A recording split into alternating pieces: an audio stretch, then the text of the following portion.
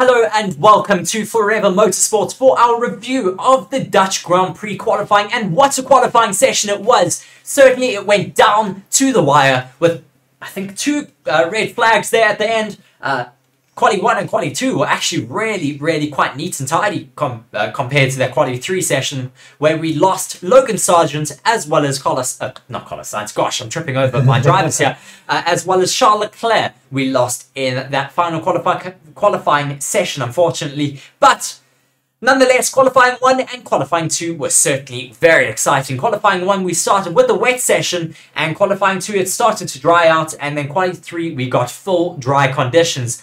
But to start with qualifying one, who were those drivers that we lost in that session, Mark? Yeah, so of course, debutant Liam Lawson was useless. Um, yeah, shame. That's horrible. First time ever in the Formula One car being called upon, of course, due to Ricciardo's broken hand yesterday. He only managed to finish in last place and quite a bit slower, almost a whole second and a half uh, off of the next car, which was Valtteri Bottas, with a 122.26. That was Bottas. Magnussen, Ocon, and Zhou were the other drivers that we lost in Q1 there. So, yeah, normal drivers it to is be expected, to, be to, lose there. As I said before the session, it would be expected for, uh, I want to say Logan Sargeant, for Liam Lawson not to finish uh, too well in the qualifying session because, of course, he's only had a single practice session in that car. He is still a rookie. He hasn't had the plethora of experiences everyone else has had uh, in the rest of the field. But the rest of those drivers that we lost, of course, Liam Lawson down in 20th, Bottas 19th, Magnussen 18th,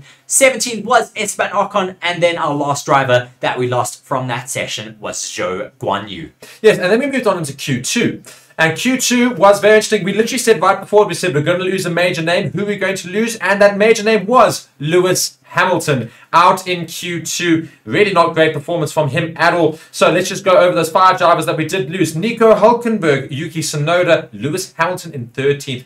Gasly in 12th and Stroll in 11th. Also, not great from Stroll. He should have been up into the top 10 there, especially when you consider his teammate Alonso. But um, very competitive up to that point. And Albon um, did very well and topped uh, I mean, Q2. I have been so impressed with Alex Albon this season. He has been just the absolute form of the field. He's no Williams.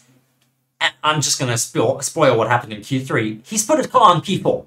I mean, yeah, what is going on? Exactly that. So let's go and talk about Q3. So Q1 and Q2. We Q2 already. Well, I mean, yes. Q2 there wasn't much to talk about other than the fact that it was very competitive between everybody, and anybody well, could have could have vied for positions there. It was right up to, down to the wire there. And the drivers that we did end up losing in Q2 was Hulkenberg in 15th, uh, as we've said already, Tsunoda 14th, Hamilton 13th. The big name that we did lose in that session, 12th was Gasly and Stroll in 11th. Indeed. So we moved to Q3, which we had our top 10. Now, Logan Sargeant did brilliantly to get into Q3, and we were so appreciative of how of his efforts. And uh, Logan Sargeant, uh, Alex Albon, I think was Sainz and um, possibly Russell, Russell think, yes. yes, were the four cars that came out and, and were uh, able to put in laps before the red flag caused by yeah. Logan Sargeant.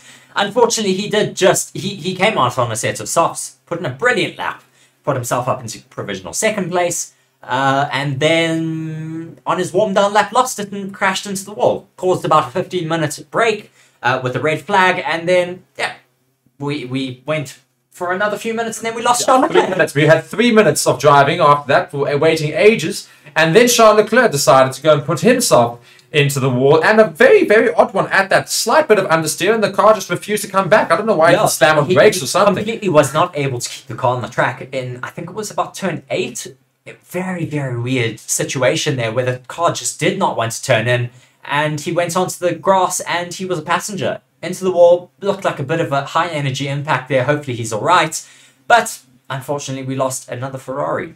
Yeah, so that was Logan Sargeant in 10th, Leclerc in 9th, of course, both of them causing red flags. We then had a race right to the end there because, of course, it got much drier. We saw much quicker times uh, um, being a possibility right near the end. So pretty much everybody had one attempt to put themselves where they will start tomorrow in the Grand Prix. We saw Piastri finish in 8th position. Unlucky, he was close to getting right near the top there but uh, he was one of the first drivers to cross that line, and each person that went over after was a little bit quicker. So, exactly. go over the top eight there, Reese, for us. So, of course, we said Piastri finished there in eighth position. Sergio Perez not having another great qualifying session.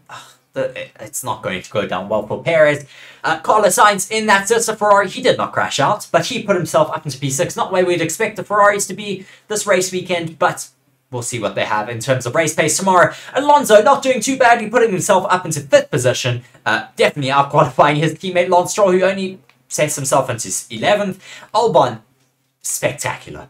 I am really rooting for Albon. I hope he gets another race. He's don't go to Ferrari. Do not go to Ferrari. Uh, and then we have George Russell in the uh, in the Mercedes up in P3. Lando Norris on that front row next to Max Verstappen in P1. Yeah, indeed. And I think what was also great to see, and you made mention to, is the fact we've got six different constructors in the top six. So we've got a Red Bull, a McLaren, a Mercedes, a Williams, an Aston Martin, and a Ferrari before we should start repeating teams. So that was brilliant to see. Really, really was brilliant to see. Uh, so it's going to gear up towards a very exciting race tomorrow in Zandvoort, where Max Verstappen can, of course, equal that win record with um, Sebastian Vettel. Yes, and do be sure to join us for the race tomorrow, where I think we could get a few upsets, not only from some competitive cars down the field, but also from the weather. It's still a bit of an unknown as to what the weather will be doing tomorrow afternoon. There's lots of predictions for rain. There could be some interchanging conditions going from rain to, to dry. But it should all still be to play for tomorrow, and if it isn't, Max Verstappen could also equal Sebastian Vettel's nine race win streak record. Very exciting. Please do be sure to watch us uh, on our streams tomorrow on the Forever Motorsports channel. We do look forward to having you alongside with us, but that has been it for myself and Mark for this Dutch Grand Prix qualifying review. Thank you very much for joining us. Cheers.